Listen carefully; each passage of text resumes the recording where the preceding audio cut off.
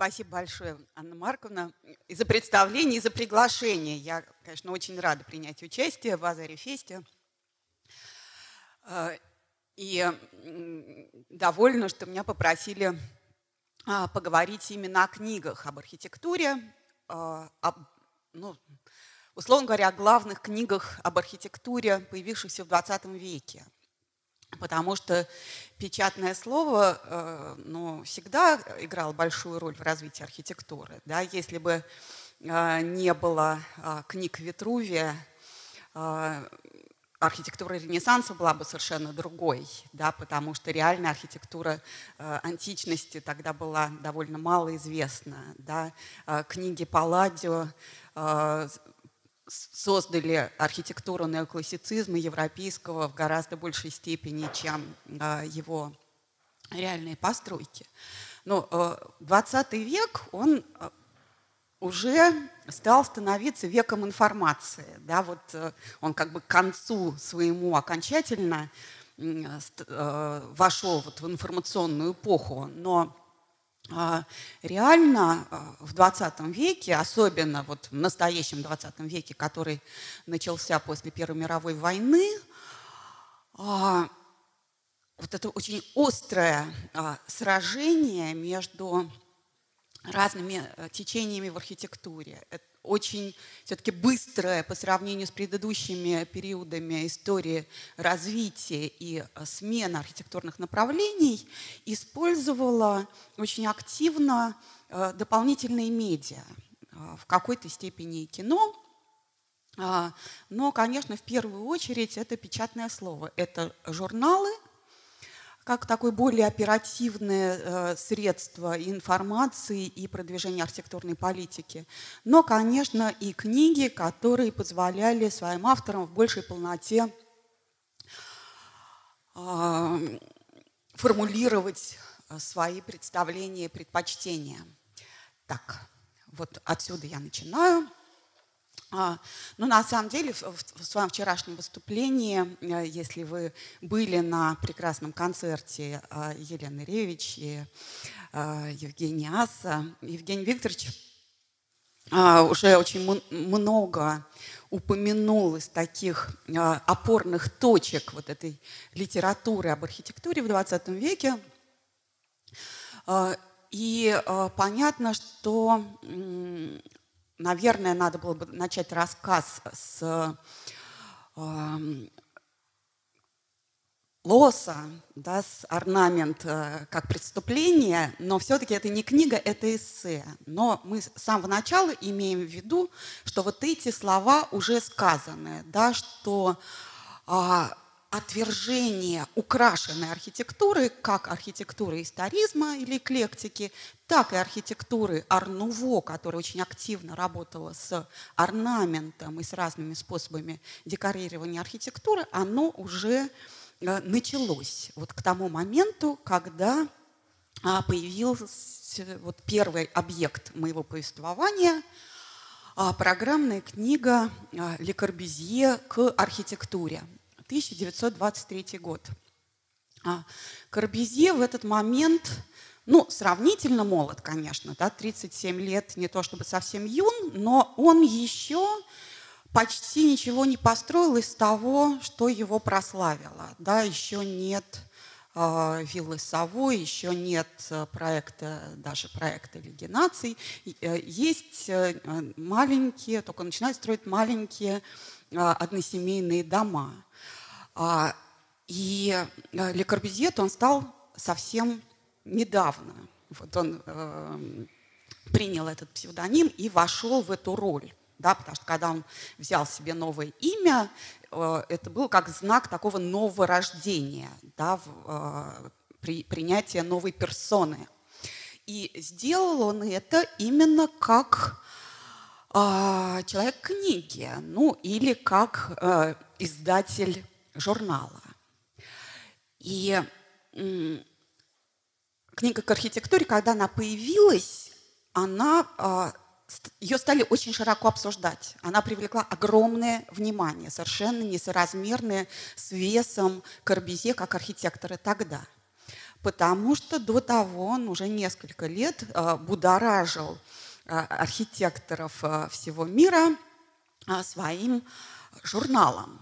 Ну, не только архитекторов, да, журнал «Эспринуво», был посвящен разным аспектам современной культуры – а, но э, и в первую очередь вот тому, что обозначено в его э, заглавии, да, вот этому новому духу. Новому – это тому, который распространяется и должен победить по окончании мировой войны. Да, э, то есть предполагается, что вот мировая война подвела точку в развитии старой цивилизации да, она показала, что продолжать э, прежнее невозможно, потому что этот мир самоуничтожается. Ну, как потом выяснилось, еще много чего должно э, произойти. Э, но, э, те, тем не менее, да, вот вы видите компанию, которая начала э, издавать вот этот э, журнал «Эспринуво», и э, а, Корбюзье сделал себе вот такой пропуск, э, который э, позволял ему посещать разные мероприятия. Вы видите, что он там обозначен как э, редактор и корреспондент, да, редактор, и вот видите, он зачеркнул, он писал директор Сприново, и он там еще значится как Шарль Эдуар Жанере. То есть вот эта а, трансформация его а, связана именно с печатной деятельностью. И а, сама по себе эта книга, она не содержит, ну то есть она содержит некоторые рецепты, конечно, да, но она, во-первых, она состоит на самом деле составлена из эссе, которые были опубликованы уже в этом журнале – сшито в некоторое более или менее логичное целое, хотя не до конца. Да, то есть это в каком-то смысле сборник или альманах его э, собственных э, работ, но именно за счет вот достижения такого массива становится окончательно ясно, что же он хочет сказать. Да? И э, очень интересен иллюстративный ряд этой книги, который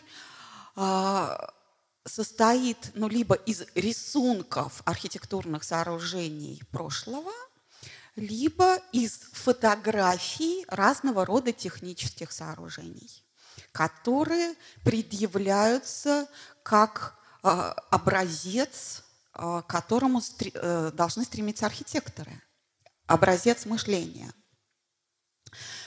Вот э,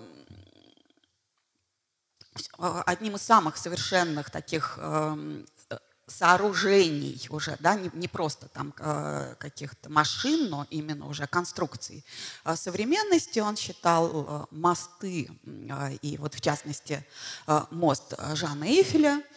И первая декларация, которая содержится в книге к архитектуре, обозначена как эстетика инженера и архитектора – да, тут такая дилемма, что эстетика инженера сейчас достигла высот, а другая, то есть эстетика архитектора, находится в печальном состоянии деградации. То есть он фиксирует тот факт, что эта новая архитектура еще не родилась ни у него, ни у кого э, другого, что ей еще только предстоит родиться, и путь показывает эстетика инженера, но при этом он их не отождествляет. Это разные, все-таки разные эстетики.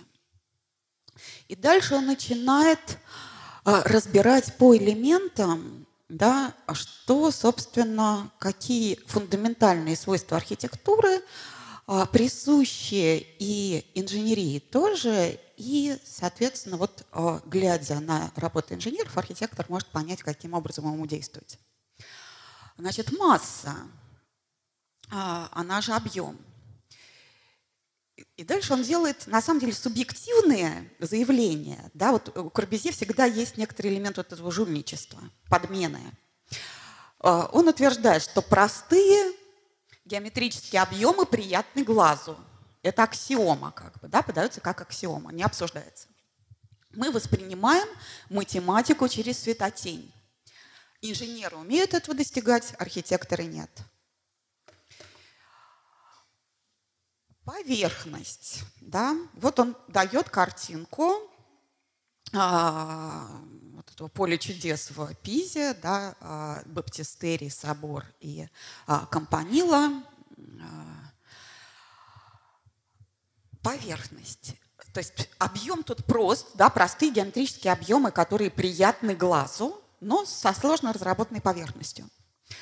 Объем обернут в поверхность, расчлененную в соответствии с направляющими линиями массы. Это придает массе индивидуальность.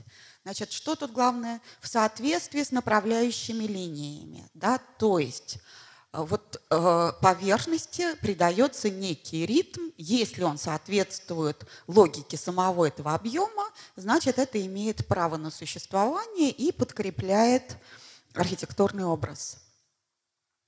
План. Очень, между прочим, тоже странный ход для архитектора вот эта последовательность, да, потому что у нас как план, потом объем, потом поверхность, да. Тут план следует дальше. Объем и поверхность определены планом. Задача завтрашнего дня – вернуть плану его значение.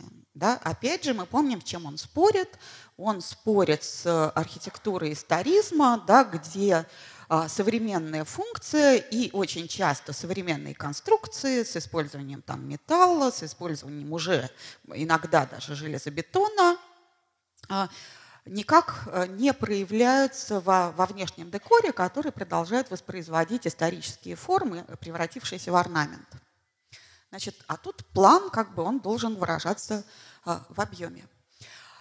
И э, он это демонстрирует на примере не, нескольких сооружений, э, ну или даже э, таких ансамблей. Да, вот, э, а, одно из центральных для него вообще явлений в истории архитектуры – это Афинский Акрополь.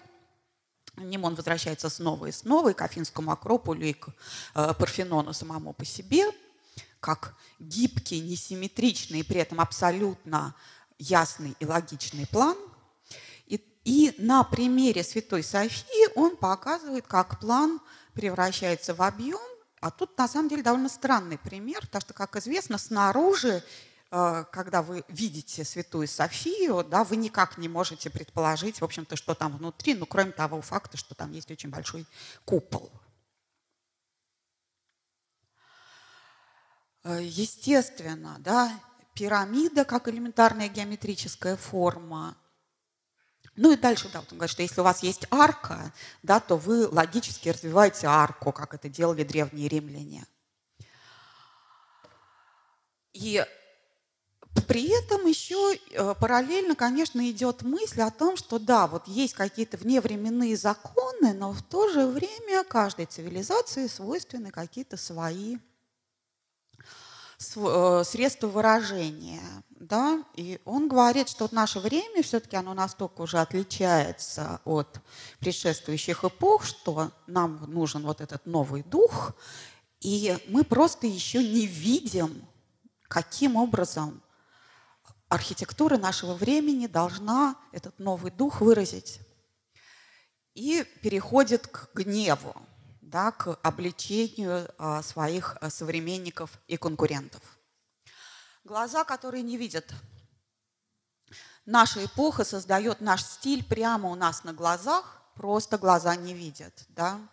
И он показывает такой э, коллаж из памятников прошлого. Да? Мы видим э, э, Нотр-Дам в Париже.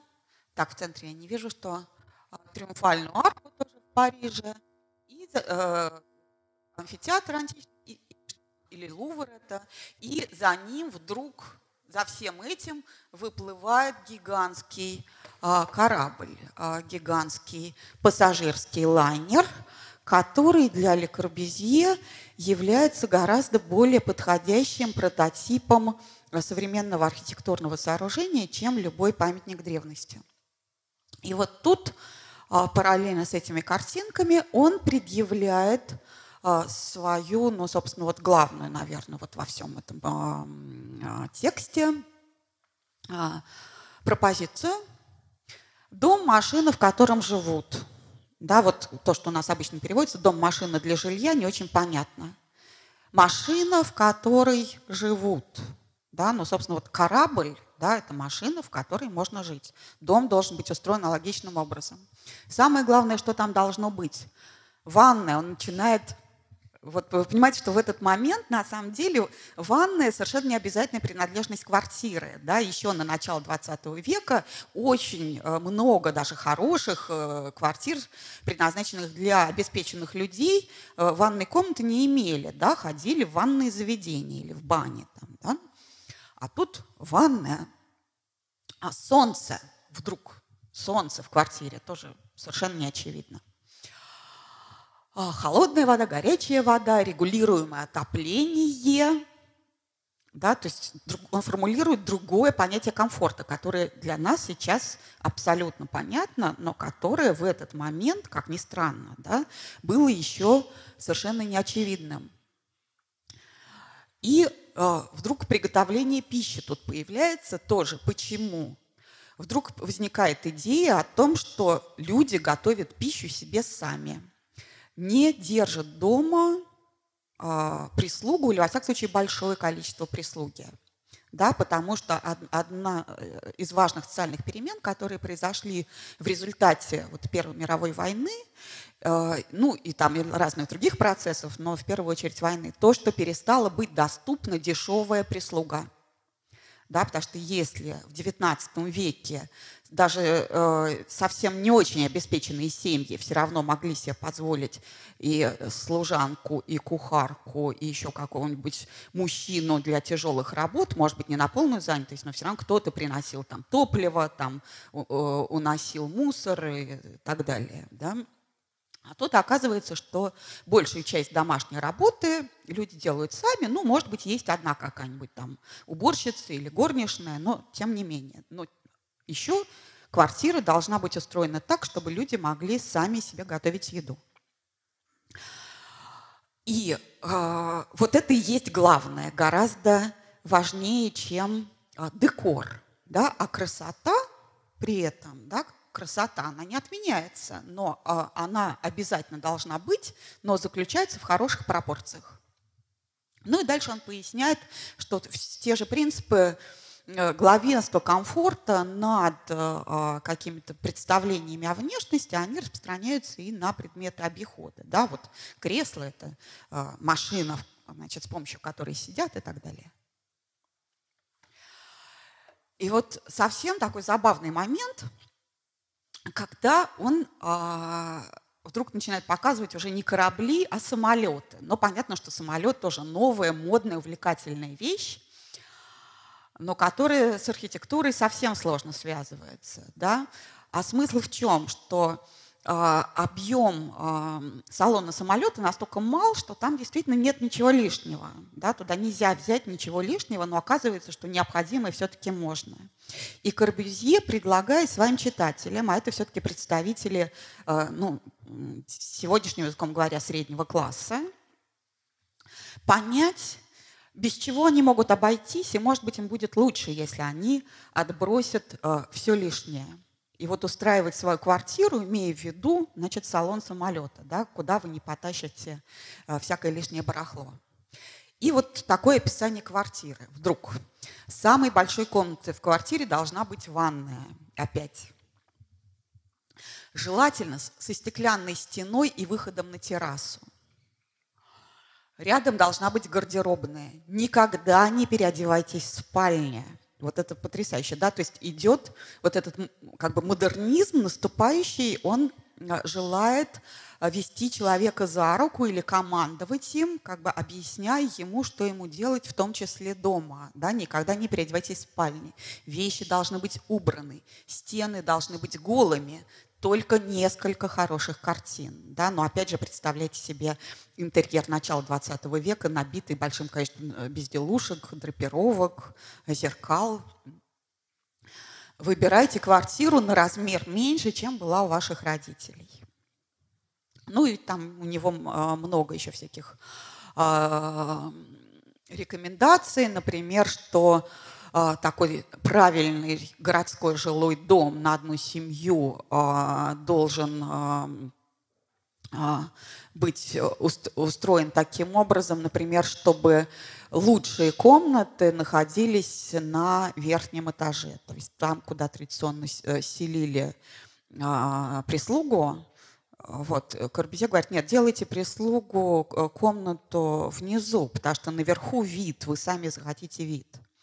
То есть он определяет совершенно новую систему приоритетов в устройстве жилья и связывает это с новым образом жизни. Ну и, как вы поняли, вот из этой фразы про самую большую комнату в квартире, значит, ванную, э, это то, что он призывает к здоровому образу жизни, потому что в ванной вы не только совершаете гигиенические процедуры, но и делаете гимнастику, естественно.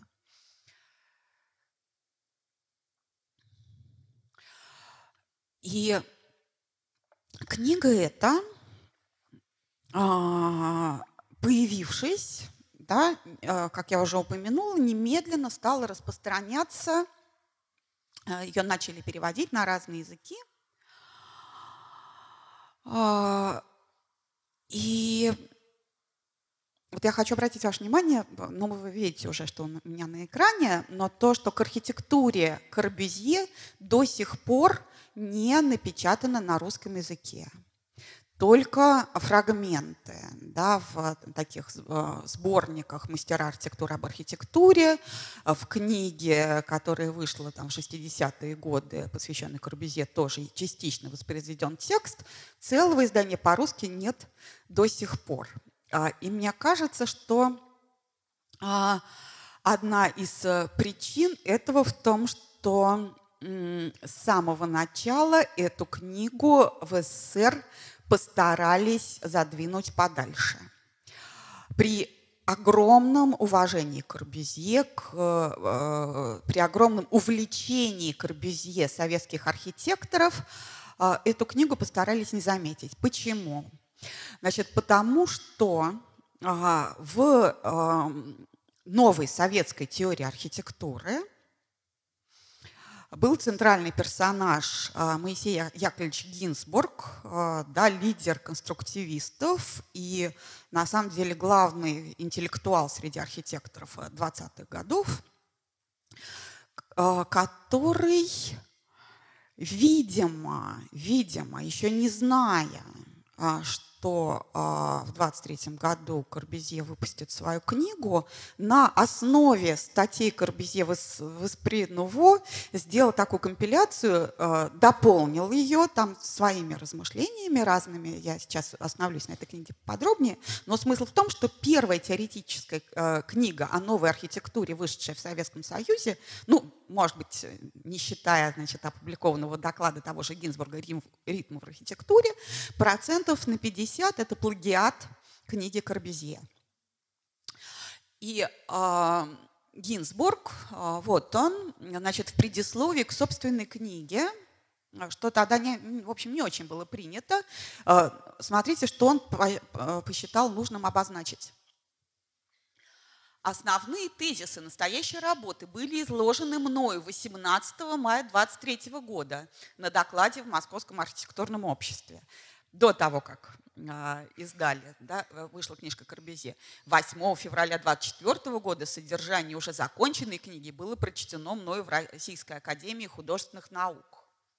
То есть э, он пытается установить, ну если не свой приоритет хронологический, то по крайней мере синхронность, да, и как бы вот заявить, что я не сам все это придумал.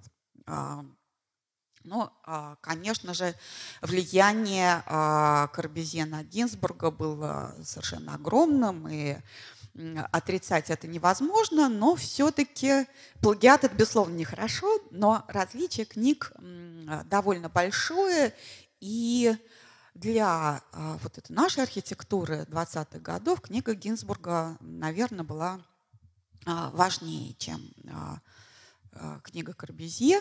Значит, у нас появились на нее рецензии на книгу Корбюзье. Я все еще продолжаю говорить. А, во второй половине 24 года стали выходить рецензии. Интересно, что одна из них была написана Алексеем Викторовичем Щусевым.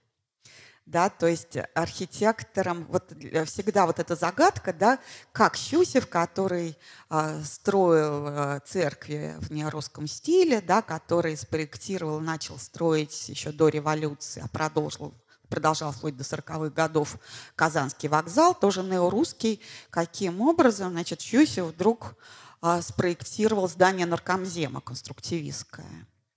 Да, вот поддавшись этой общей моде, а, и а, не исключено, что тут он отозвался не на работы своих а, советских коллег, а это была его реакция именно на книгу Корбюзье с изложением а, принципов вот этой новой архитектуры, то есть на первый источник.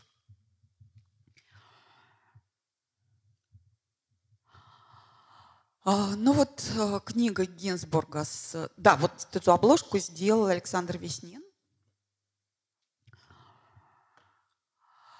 И книга Гинзбурга, она отличается от книги Корбюзье гораздо большей долей, э, посвященной истории архитектуры.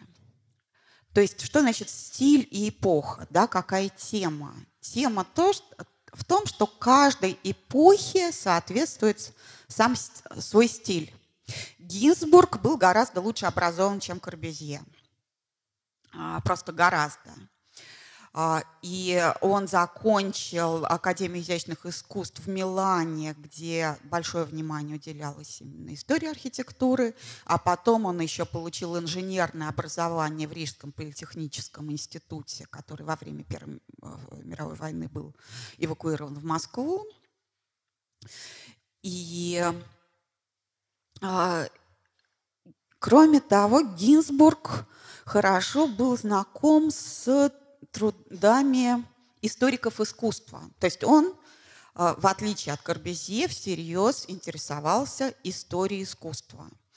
И, э, в частности, э, увлекался теорией Генриха Вельфлина, ну, одного из, собственно, отцов формальной школы искусствознания, который предложил как бы научный метод анализа художественного произведения – и метод этот а, а, основан на таких бинарных оппозициях, там линейная, живописная, а, плоская или выпукло вогнутая, статичная, динамичная и так далее. Да?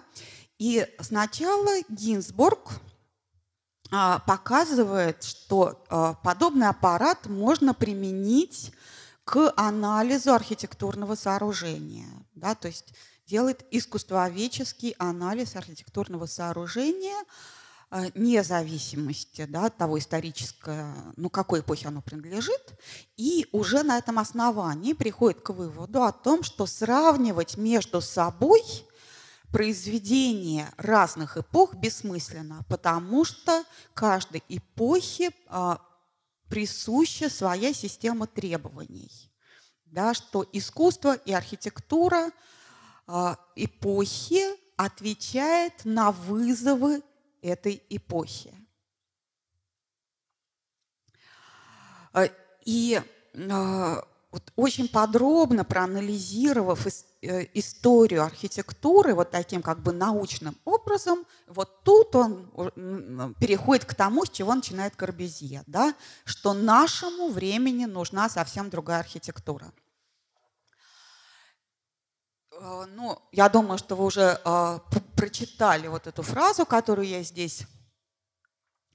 Э, ну, он еще э, хорошо очень писал, и поскольку он писал по-русски, мы можем оценить и его литературный стиль, да, но все-таки он пользуется ну, вот это, во-первых, гегелевской теорией эволюции, да, эволю... развития истории – Потом, значит, он говорит, что вот наша, наша эпоха, вот произошла эта вспышка, и поскольку он существует в советском контексте, для него эта вспышка заключается, конечно же, в Октябрьской, в пролетарской революции, да, новое общество, и вот нам нужен этот э, новый э, стиль и посмотреть, какие он делает картинки. Ну, может быть, я у Корбезье вам мало показал картинок, но, в общем, э, при том, сколько Гинзбург пишет про истории, он почти не дает, вот в отличие от Корбезье, картинок исторических сооружений. Он все это иллюстрирует техническими объектами. И он говорит как раз о том, что архитекторы не просто должны как бы вдохновляться тем, что делают инженеры, а архитекторы должны работать в принципе так же, как инженеры. Он э, определяет достаточно жесткий детерминизм. Да? Эпоха диктует стиль, а функция диктует форму. И, значит, еще вот, говоря про стиль, он употребляет еще такую, вот в связи с эволюцией, еще а, ну, тоже это очень распространенная, привычная метафора о том, что каждый стиль проходит фазы развития, да, что вот он рождается, достигает зрелости и потом увядает, значит, э, скатываясь, значит, декаданс. Э, и он говорит о том, что вот началу каждого стиля, молодости его свойственно конструктивная четкость, да, что сначала рождается конструктивная основа стиля, потом, значит, происходит его какая-то эстетическая, декоративная проработка, а потом декорация начинает перевешивать. И он говорит, вот у нас начало, значит, мы работаем с конструкцией, да, и вот тут он начинает говорить об этом слое конструктивизм, да, который потом выльется в архитектуру конструктивизм, который в этот момент тоже еще нет на самом деле. Есть только проект, скажем, Дворца труда Весняных. И вот в...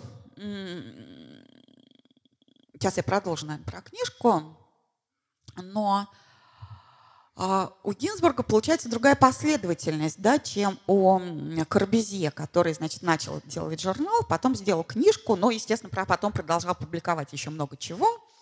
Но, тем не менее, значит, Гинзбург выпускает книжку и начинает издавать журнал да, вместе там с Александром Весниным, но все-таки главой вот редколлегии был он. И в этом журнале «СА. Современная архитектура» он э, продолжает э, развивать э, вот эти теории о том, как должна быть устроена архитектура. И вот сейчас я вам показываю несколько страниц, посвященных критике историзирующей архитектуре, и особенно его злил Желтовский и проект Госбанка на Неглинной, ну, а, также Рерберг с телеграфом.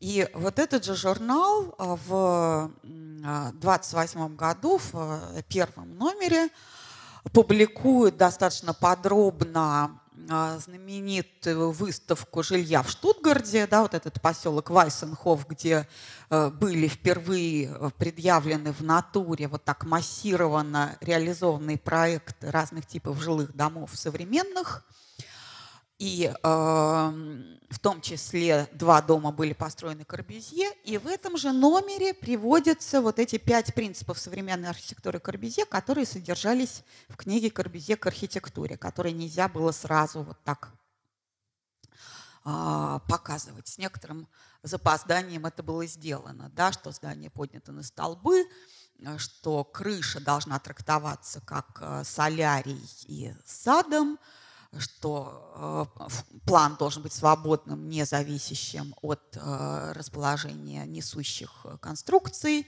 что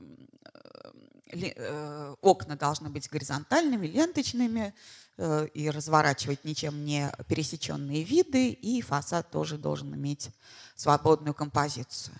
Ну и вот в этот момент происходит как бы слияние, да, а, вот эта картинка, а, ну, наверное, вы узнали, это один из а, двух общих коридоров в доме наркомфина Гинзбурга, да, а, практически совпадает с фотографией коридора на а, закрытой палубе океанского лайнера, который Корбезье поместил на обложку а, своей книги.